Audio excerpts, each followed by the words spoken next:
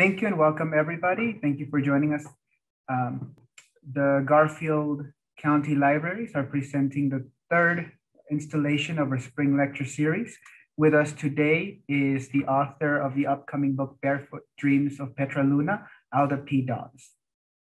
She was born in a small town in Coahuila, Mexico, but moved to San Antonio, Texas as a child. Alda studied physics and worked as an engineer before pursuing her love of storytelling.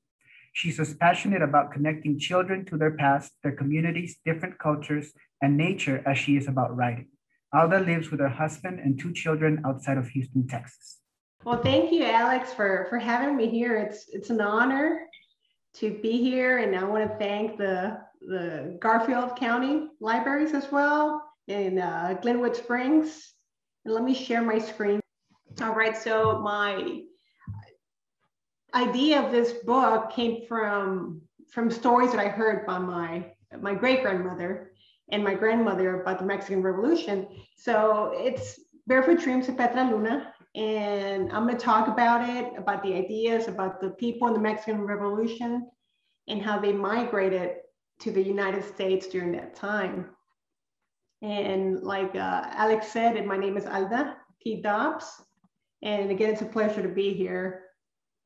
So we'll get started. And the inspiration, like I said, a lot of the stories that I learned during the when I was a child came from my great grandmother, who is here at the center. Her name was uh, Juanita Martinez, and this is my my grandmother here. Her name was Josefa Diaz, and these two women, their stories from childhood were passed on to my mother, who's over here, and that's me as a, as a kid. So all these stories always enrich my life. And many of these stories were of the poverty that they endured as children. So these were similar to the homes that my great grandmother and my grandmother grew up in. You know, they used to call them chozas and um, they were made out of uh, thatched roof and adobe homes.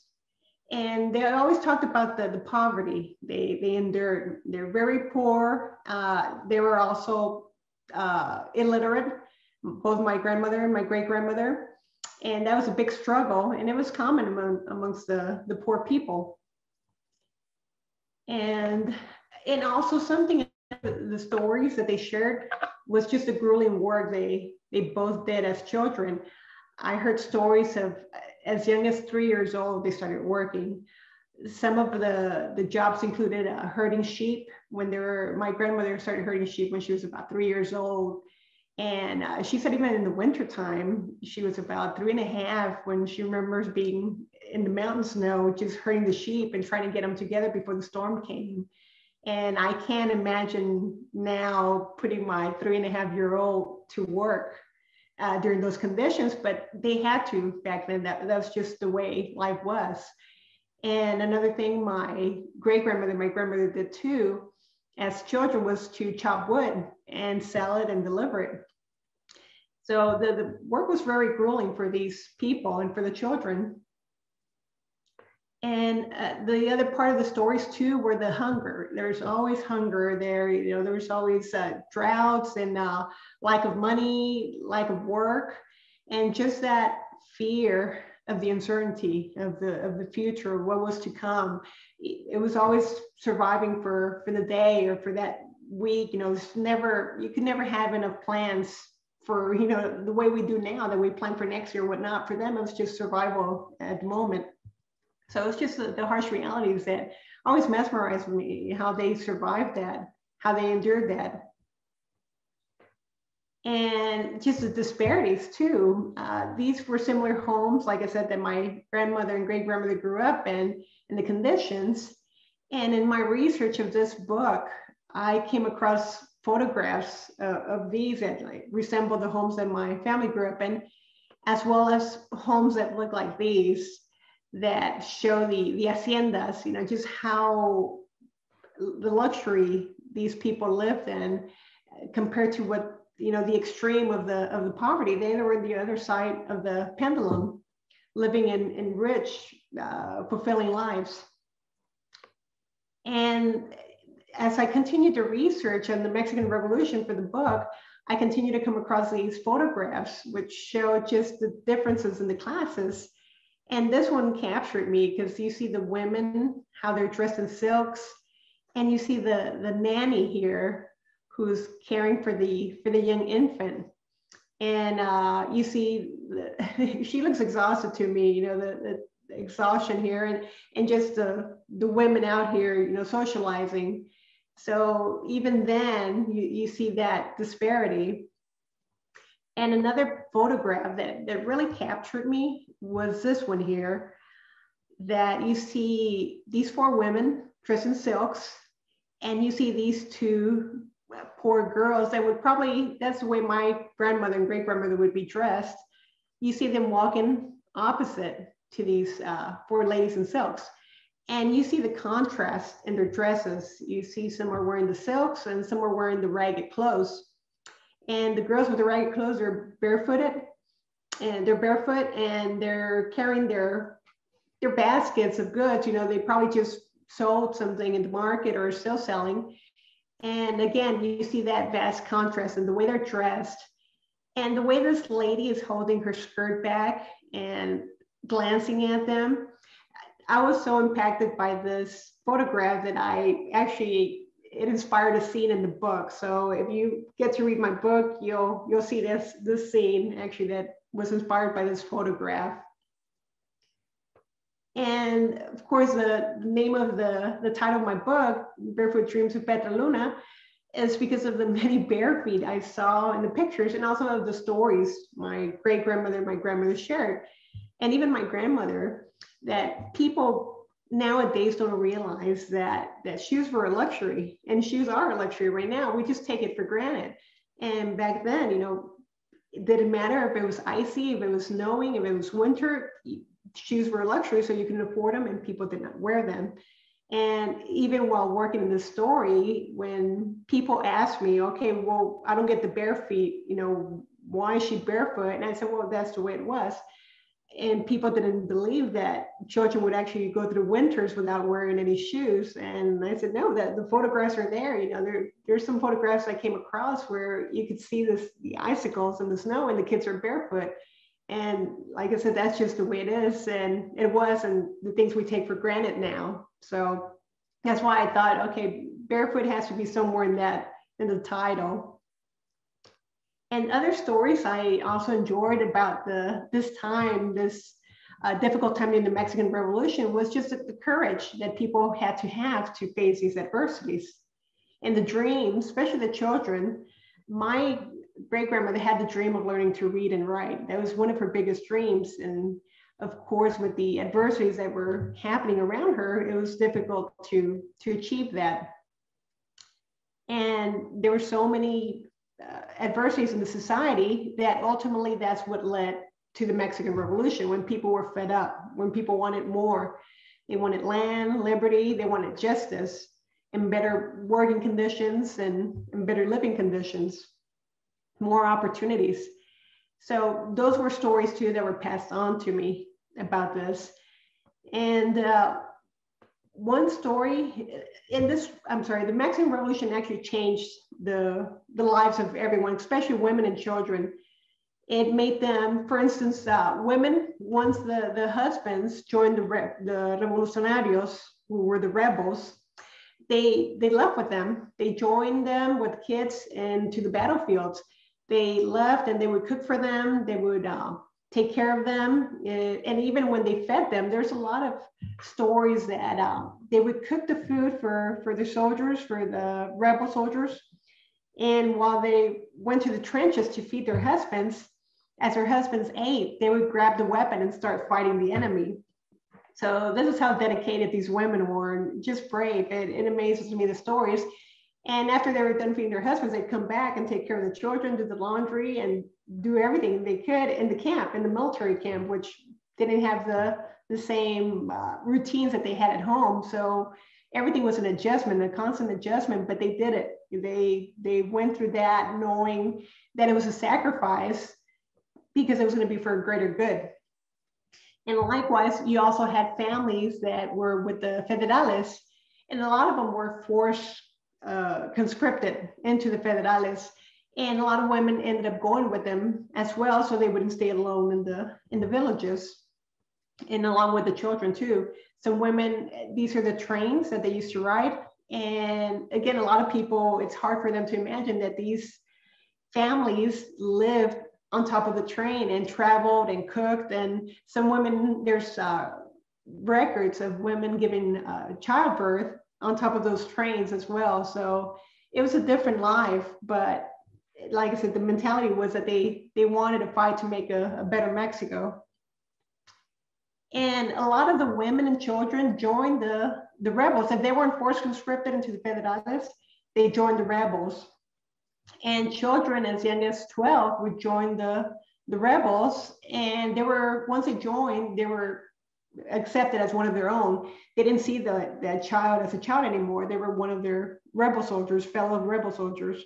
So they were treated, they were trained.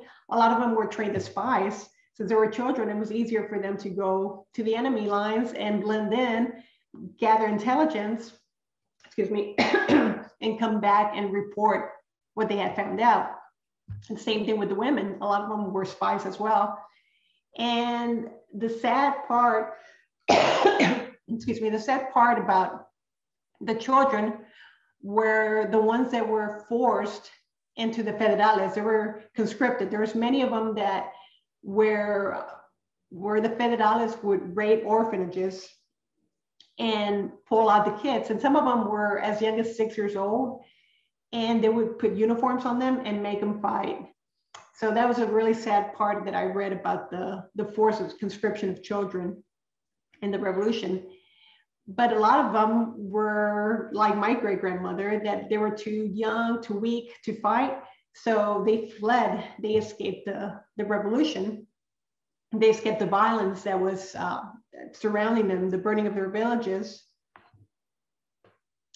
And my great grandmother was one of them. She escaped the, her village and they lived in the mountains in the middle of Coahuila and they had to walk across the desert. They trekked the desert and it took them days to get there. And there was uh, a lot of stuff that they went through. There was, you know, of course, you had the the elements of the desert, the lack of food, and whatever little bit of food was that the desert provided, it was all gone because so many people were were fleeing. So it, it got pretty, according to her, it was pretty desperate the the situation. And uh, so this is where my great grandmother started. Like I said, she was in the middle of Coahuila near the mountains and she trekked towards Texas, towards uh, Eagle Pass, Texas. The name of the town in Mexico was called Piedras Negras, and it borders with Eagle Pass. Now, like many, I'm sure many of you have uh, stories from your family too about the, the Mexican Revolution of how your ancestors came here into America. My great grandmother's story was that she got to this bridge at Eagle Pass and she said she was trying to cross a bridge, but they wouldn't let her in, her and her family. She said it was hundreds of people trying to get across, and the US government has shut it down and said, no, you can't come in. And they were fleeing the federales, so they waited patiently, hoping, hoping the bridge would open. And after three days of waiting, the federales finally showed up to Piedras Negras. And she said when they saw them, especially when they started wheeling their cannons and pointed them at the crowd at the crowd they said it was chaotic it was chaos and and people started screaming and just running for the bridge and she said it was uh, people begging for their lives and asking the the soldiers because it was U.S. Army soldiers who were guarding the the gates of the bridge. They were begging them to open it and whatnot. And when they heard the cavalry of the Federales coming down, that's when people started really, really pleading for their lives. And at that moment, my great grandmother says she was there and she doesn't know what happened or why, but that the, the uh, American soldiers came over and opened the gates and everybody just flooded in and into America. And she said it was hundreds of people. So, and she, this is one of her favorite stories. She would tell this story over and over. And then my grandmother started saying it over and over as well, and always with that same enthusiasm. So I always wondered about it, if it was true or not. so I set out, I said, you know what, I'm going to find out if this story is true or not, or there's something that was, you know, have some stories with time, this truth gets stretched and you wonder if it was real or not. So I said, okay, I'm going to start researching this story. And I started reading books on the Mexican Revolution. And I read books in Spanish, books in English, and really good books that I, I learned so much about the Mexican Revolution in terms of the government, why the causes, um, who was, what leaders in, uh, in Mexico or abroad were involved. But I found nothing about that one incident. And, uh, and I started, I've read about 40 books and all, and I could not find anything. So I started getting frustrated because I, I had these questions or I had these answers to these questions. I knew it was about my great grandmother and her family and hundreds of other refugees. I knew that they had crossed the, the Rio Grande or the Rio Bravo, as they used to call it. It was at Eagle Pass, and they were escaping the Federales, and that they had ran for their lives. I don't know when it had happened, but none of those details appeared in any of these books. And it was during the time I was in Colorado too. I was living in Colorado Springs, and the librarian in uh, in Pikes Peaks, uh, Pike Peaks uh, library system. He's the one that led me to this called the Portal of Texas History. And in it, I was able to read newspapers from the past. So it, it was to me, it was like a time machine. I felt like, okay, finally I could travel back to the past and relive those moments day to day and find out if this really happened or not. And what I learned, it was incredible. So to backtrack, remember, like I said, I had those questions answered except for the date. So I told myself, okay, out of all the research I had done before, I came up with this date, November 20th, 1910, and that's the official start of the Mexican Revolution. So I said, okay, I will start with that date because it, it had to happen after that. So I began with that date and I read every single newspaper that was printed out after that date in Texas. So it took me about six, seven months of reading many, many newspapers. I'd say probably over three, 400 paper newspapers until I came across this headline that said fearful scenes enacted in flight of refugees from Piedras Negras. And that was it. That was the event that my great grandmother had had lived through. And uh, everything was exactly how she had described it, except she said it was hundreds of people and it was actually thousands. It was about almost 7,000 people. So once I found out this article or found this article here, I knew that the date was October 5th, 1913. And that was easier. Once I had that date, it was easier to do research of that particular date. And once I did that, I could find archives of photographs uh, that occurred during that date. And I ended up finding this picture here, which I thought was just amazing uh, because it shows that event. And at, over here, you see that tower, that City Hall in Piedras Negras. This is the bridge, the international bridge. And these are all the people, the refugees that are running for their lives. So somewhere among that crowd is my great grandmother. So it nearly brought me to tears when I saw this photograph. And had I had not had that date, I would have probably never found this photograph. So just the the um, the research that goes involved that's involved in this, just the the the outcome that the I call them like gold nuggets that you find just because it's so valuable and these are photographs that my grandmother never saw or my great grandma but I feel so blessed to to be looking at to be able to see this and once I had that yes like I said the, the research became easier so the, the story continues for a lot of the refugees and uh, I have my book which shows Petra Luna's uh, coming from from Mexico. And I also have a book too that's following up that's coming out next year. And that one shows her in the refugee camps because uh, my great grandmother stayed in one of them in Piedras Negras. But these refugee camps were throughout the southwest border. There were some in uh, Presidio and there were some over in, uh, they had one in Fort Bliss too, a really, really big one. They had some in Arizona and they had some in New Mexico as well. So these were, because there were so many people trying to cross over. So they started, there was a fear of smallpox that were, that was coming.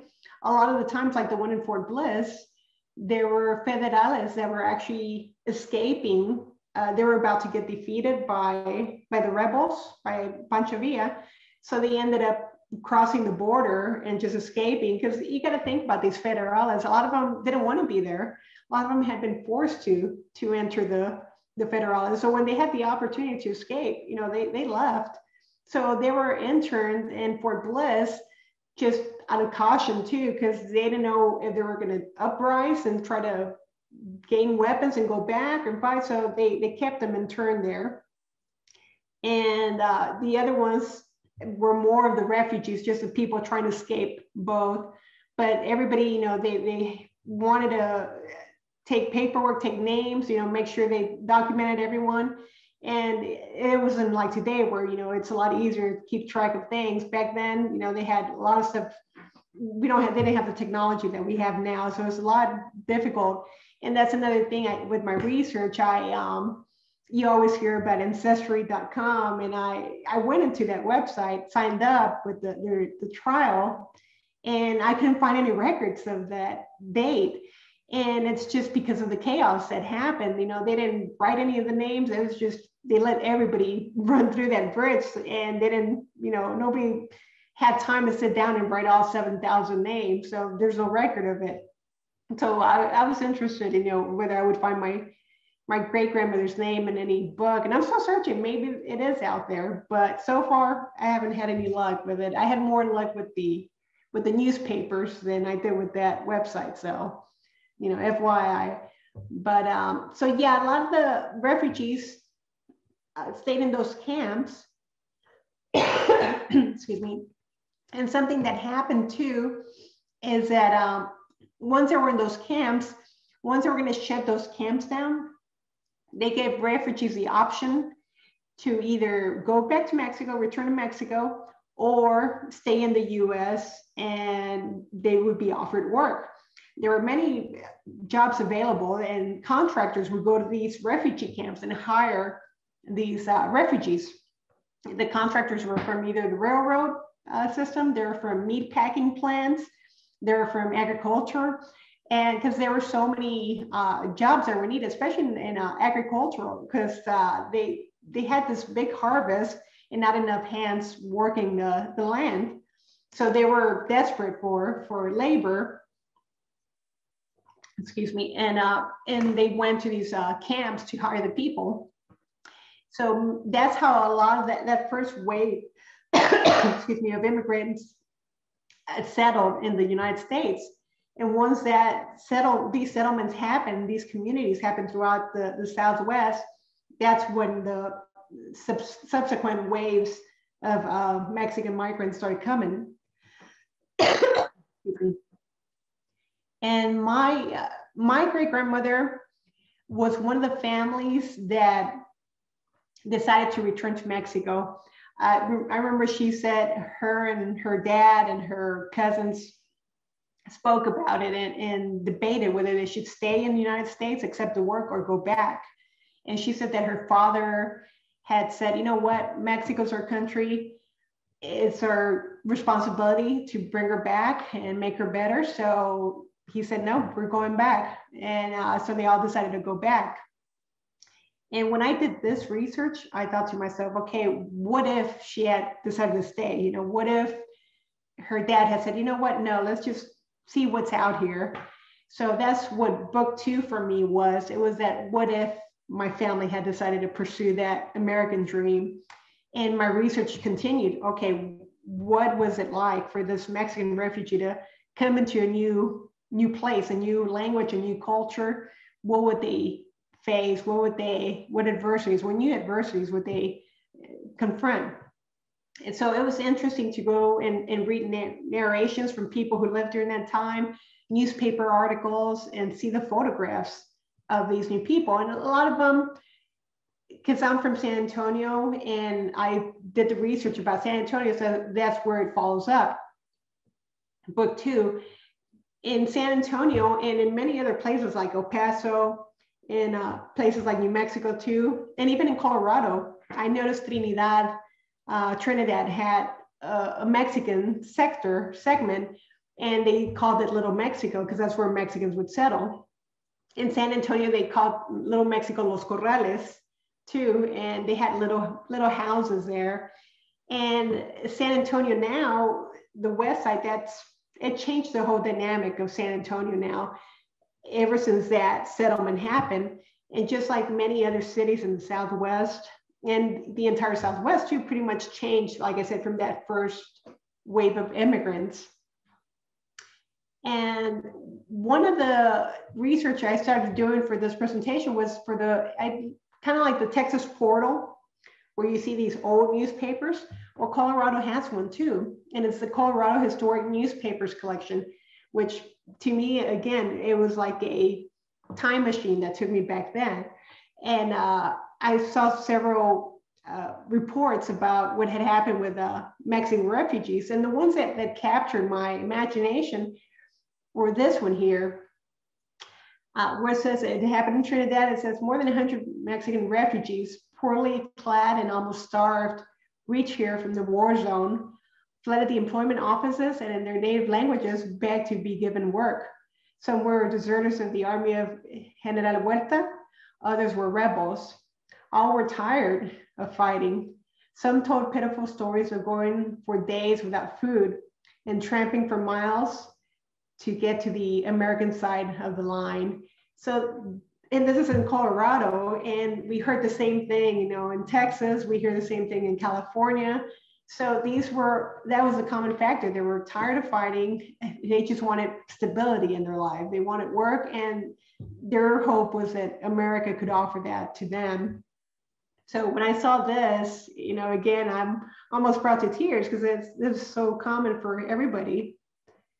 And the other one I read here was about the discovery. It says that they discovered uh, casks of dynamite, and it turns out that they were being buried, and they think they were being buried by Mexican refugees who were probably had ties with the with the rebels, and were trying to save these dynamites to smuggle them back into Mexico. And of course, they got arrested, you know, because they broke the law about you know trying to help aid the other side while they're in American soil but just the desperation of trying to help the other side and and how much America was involved in in that uh, in that war as well. You know, with its people and with the people coming over. So America was affected, you know, with by this war, and the face of America was changed forever by this war. Even though it was a Mexican Revolution, it was over a million people 2 million people, as a matter of fact, that moved over here. So that that'll change the country forever when you have 2 million migrants moving over. And and it's just upsetting that that no more books don't share the story or don't highlight these events of the Mexican Revolution. And the reason I it's upsetting sometimes is because of the echoes of history because history tends to repeat itself. So these are pictures that I saw of the Mexican Revolution of people, like I said, they're escaping their the violence in their homeland. And these are pictures I saw two months ago. And you put them side by side and you're like, oh my goodness, you know, it's happening again. You, you see the same thing happening. And then I saw this picture, of course, it's another one that I found out from my great grandmother's time that when she was crossing the bridge. And you see the same border, you know, 100 and uh, what is it, 120, 110 years later. And here it is happening again. And the refugee camps, like the one my great grandmother was in, and this was back in 1913, and you have that now, same thing. And the funny thing is that back then too, you had the the smallpox scares, you know, with people being afraid of getting smallpox, and then people trying to find a vaccination, trying to va- vaccinate the, the refugees. And of course, you have COVID 19 now with the refugees. And again, this one picture representing those vast, you know, that gap, that social divide. And you see that now as well, not only here in the United States, but all over the world. You see that too. And and we got to teach kids that you know this is something that ultimately led to a revolution because people were just fed up with with that poverty, that uh, unjust treatment, and you know makes you wonder what's going to happen now with these extreme social economic gaps and but we also have to realize the, the spirit of giving. So back in, in during the mexican revolution in the refugees coming over the red cross and many charities uh, got together to feed the refugees. And, and it's nice to see how many uh, fundraisers there were and in the papers they, they were advertising the newspapers they, that they're going to have a parade to raise funds and they're going to have uh, one of them was a parade of cars so they asked people to bring their their cars and if you wanted to participate in the parade you had to pay a, a fee but that fee was going to go to raise funds for the refugees and uh, and they did that parade to the kids that were the refugees so that the kids could look at the cars. And so it's a pretty neat, neat uh, thing that I, I had to put into the book too as well. But you see that same spirit of giving in the South right now, like in uh, in the Valley. You see that with uh, this nun here, Sister Pimentel. She's a wonderful lady who's been her and along with many, many others throughout the, the Southwest are helping these res- refugees right now. So we got to tell these children about these histories and how they tend to repeat themselves, but also that there's hope and they have it in their power to make change. So if you go to my website, I have uh, resources and guides that explain the Mexican Revolution. I have a, a video that shows the, uh, the, the books that I researched. And I also have a, a, playlist of songs that I just added this week. And the play, playlist of songs have all the songs from the that were popular during the Mexican Revolution, so that people could could get a feeling of what it was like during Mexico and what inspired a lot of that music and the sentiment when they wrote the lyrics to that music that was happening at the time, the turmoil. And I'm also working on two videos uh, for children that one of them is to explain the Mexican Revolution to, to children. And it, it, should be good for adults as well. But and then the other one's to explain the role of children in the Mexican Revolution, whether they had joined the rebels or whether they were forced conscripted to the, the Federales. So I should have that in the next couple of months. And also in my uh, website, I have a, a contact uh, button there where you could reach out to me. If you have any questions about the Mexican Revolution or about researching family stories, I, I love all kinds of family stories, especially if they're about uh, coming into America as migrants and all that. It always inspires me because uh, I think in, in, a lot of these stories we find strength, and that's something we got to find in these uh, old family stories and be able to share them and also research and investigate them just because they're going to be lost one day you know these once these stories these people that have these stories they when they pass or they die they're gone. That's it. We don't we don't have access to that story or that information anymore. So we got to get out there and gather these stories and pass them to the next generation to strengthen them and uh, so yeah i have a contact information there any questions on mexican revolution on uh, researching family stories, please feel free. You know, I'm happy to answer anything. And uh, my website is written down here. It's uh, www.aldapdobbs.com. And I thank you very much for, for listening to me uh, on this presentation here. So I'm gonna stop sharing screen. And there you go. Thank you so much, Alda. It's it's amazing to see somebody with you know so much passion for history um, you know I, I kept thinking towards the end there when you mentioning when you were mentioning a couple of times that history repeats uh, repeats itself and you know, I wanted to go a little bit more into that when you're looking at those, and that was a great kind of strategy you had to, to look at those pictures side by side, you know, 100 years difference. And, you know, things in the last 10, 15 years, you know, when it comes to this immigrant crisis, as they call it, uh, you tend to get into a lot of messy politics about it. And there's, you know, renewed outrage. And some people that make it sound like it's either never happened before, you know, I don't know. How does that make you feel? Like looking at it repeating itself. Uh, if you can go a little bit deeper into, you know, those feelings that you get when you see a hundred years ago, these families were going through the same thing, and now they're going through it again, and it's different people. Um, but I, I, just wanted to ask you a little bit more about that.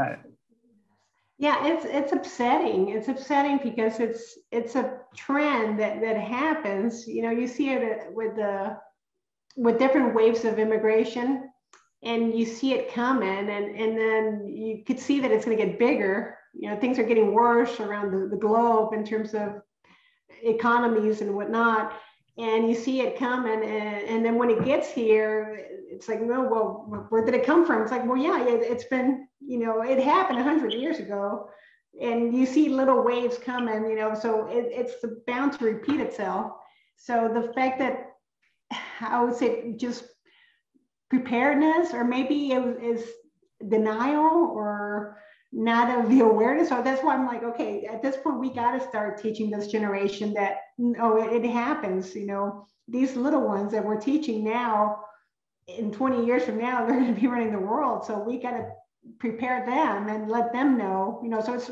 now as a grown up, I feel that responsibility that, okay, now since we're not, you know, we see the, the crisis going on right now and we're trying our best to get it fixed but hopefully the next generation will do a lot better to to helping that situation. Yeah, and uh, you know perhaps one of the best ways to tell the story or, or teach people about it is by writing, uh, you know, books like Barefoot Dreams.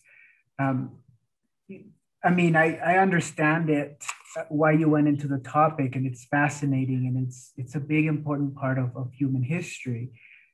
Um, but I, I wanted to ask you to give me a little bit more background into the inspiration of writing the story like you wrote it.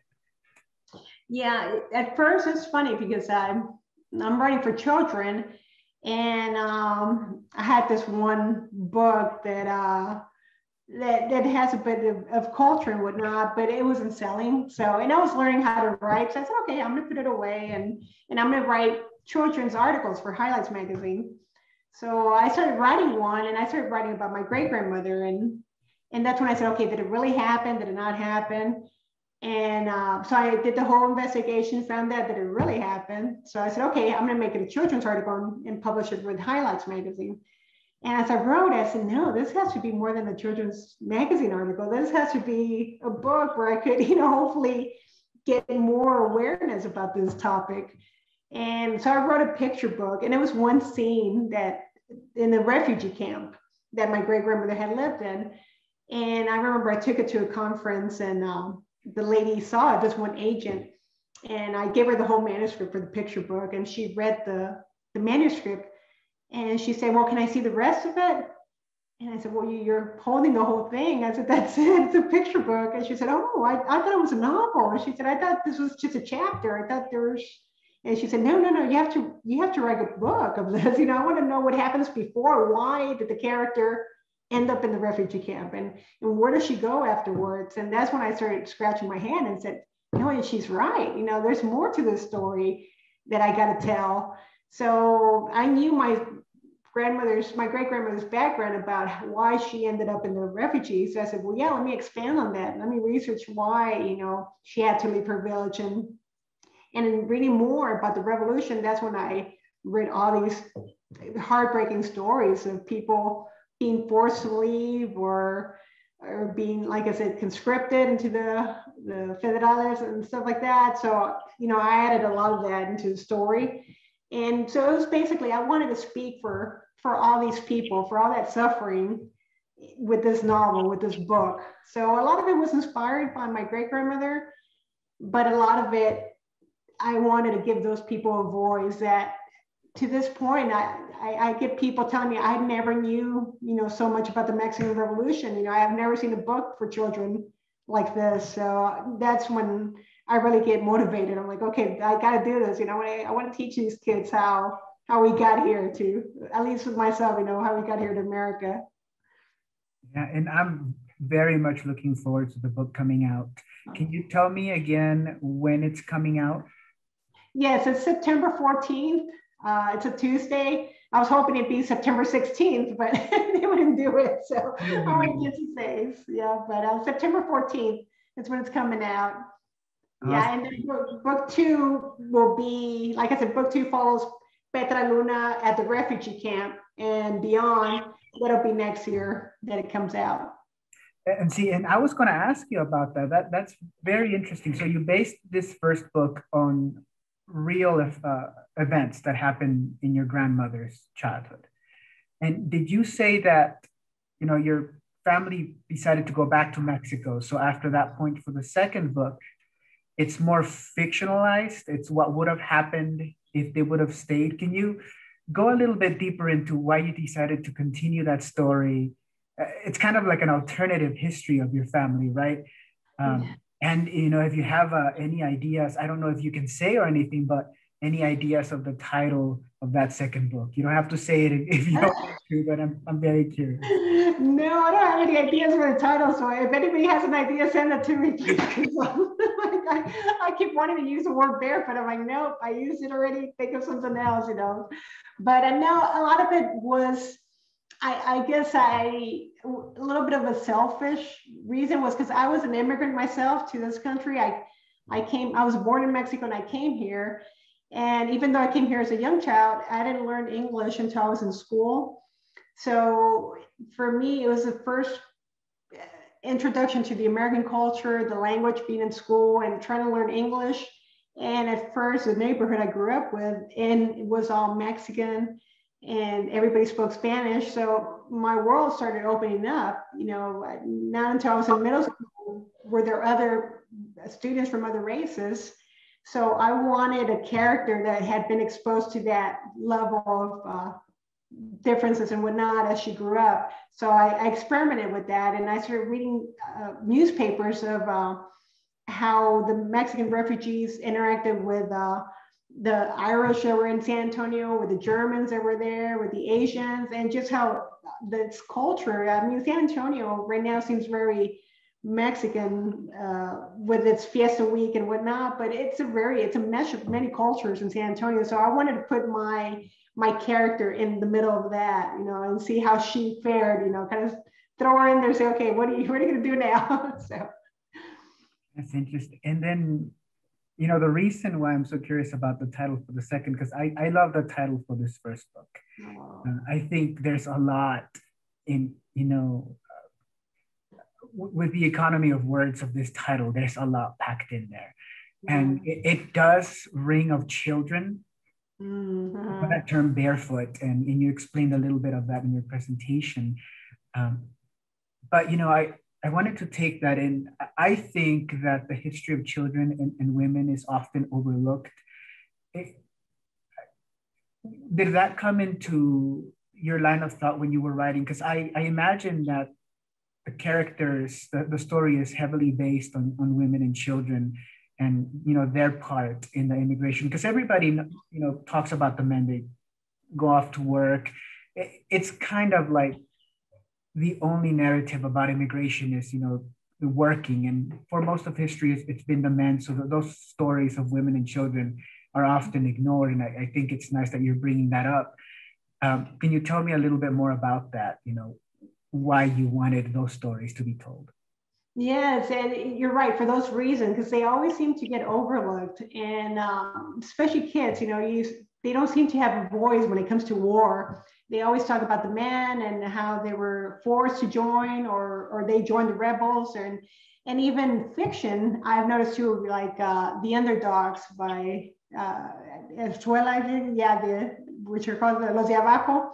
It's also about men and a lot of them fiction or nonfiction, it's all about the men. And, and then there's some about women, soldaderas, you know, and stuff like that. Not as many, but then the children, it, it was hard to find narratives or books or uh, things that describe what children went through. There's a couple of them. Uh, one of them was Barrio Boy by Ernesto. Uh, yeah, he's think it's Languardia Lanzora. I can't remember his last name, but uh, it starts with L. But he, my goodness, his book is nonfiction, and he Barrio Boy tells about how he grew up in Mexico during the Mexican Revolution, and then he actually moved to the United States. So I I read that book. It's it's fascinating, and uh, I think it's Arzuela, Ernesto Arzuela. But um, he, yeah, I followed him, and then there's another one with a girl, and but these stories uh, are geared or written with an adult reader in mind.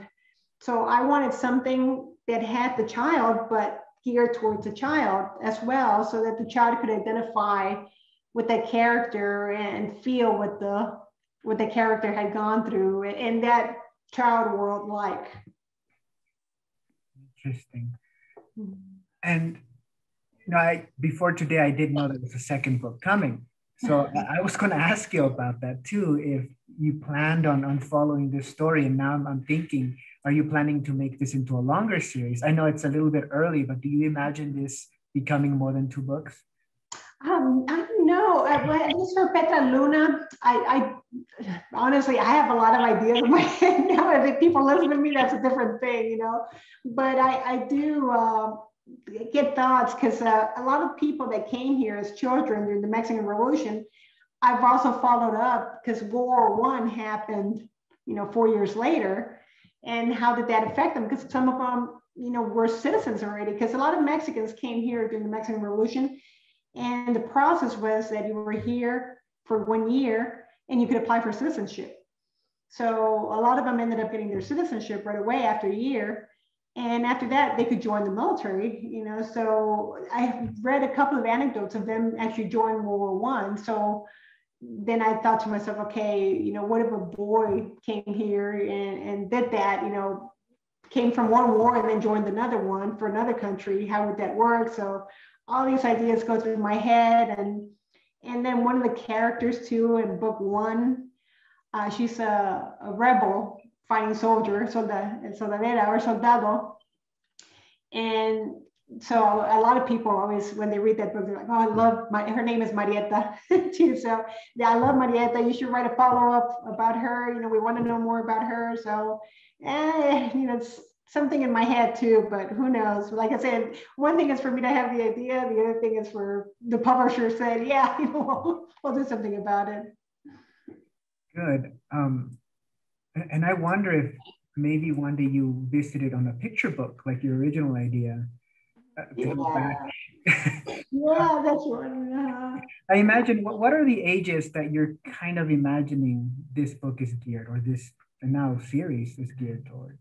I'm thinking uh, the, the publisher says uh, 9 to 12, but my well, my daughter just turned nine, but uh, so I guess she's nine already. So, but she read it and she loved it and she liked it, and her uh, friend who's eight read it. So I'm like, okay, and she got it, understood it. So I figured, okay, maybe eight. I mean, there it is war book. You know, there's violence in there and whatnot. So you know, you keep that in mind and use your discretion. But I've had uh, teachers tell me that they would like to teach it for their high school students that they feel that they would understand, even though it's from the perspective of a 12 year old, just the way she observes the world and the way, she, you know, they're trying to recruit her to become one of the rebels. And so they're like, no, this, this is something that a high school kid could um, easily, you know, uh, kind of identify with as well, you know, as, the, as a female soldier that's fighting who's young. And I've had adults too say that they it was easy for them to follow the the complexities of the Mexican Revolution because I, I, guess I broke them down and tried to explain it to a you know to a girl. So hopefully, you know that that helps, and I could capture a wider audience. So that's that's my intent, just to spread that word about you know what really happened, you know, from the child's perspective, uh, from that child who's running away from the war, you know, how they saw the war. Right. I think it's great material for a youth book club. And Oh, thank you. I, I'd like to say that, you know, once the book comes out, you know, in the fall in uh, September, that we are hoping as a library to host it as a book club for you. So that is that is coming at the end of this year. Very exciting. Oh, no, thank you. I'd love to. participate. With that in mind, uh, my last question for the night is: What do you hope readers are taking from the story? Uh, you went a little bit into it, but you know, seeing as you know the the United States is a country of, of immigrants. We we all know that, and all the history is based upon the movements of immigrants. So, what do you hope people take away when they read this?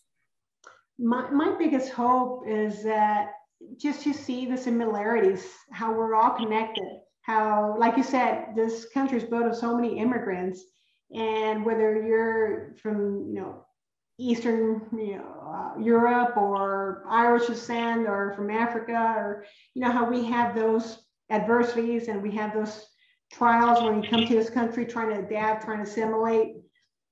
And and how everybody, a lot of people suffered. I, you know, you read uh, from the Irish family famine how they had to run from that. And uh, recently, I went to uh, a museum here in Fredericksburg, Texas, and read about the the Germans, how they came here trying to find land and whatnot, and they were left in Galveston with nothing, without a cent. And they, they had been promised to be taken to Central Texas and they just pretty much left them there in the coast. And a lot of them perished, you know, it's just that suffering of, you know, how we have all that in common to come here and try to make this country, you know, trying to make the American dream happen. So I'm hoping that's what they'll take away from that book, how how much we all have in common. Yeah, I hope so too. Well, thank you so much for being here tonight. I could, I think I can go for another hour or two, but we do have to go home. Um, I just wanted to thank you so much for going over, you know, all that research you did. I, I think family histories are extremely important to understanding history as a whole because everything happens, you know, at, the most basic level as a family unit.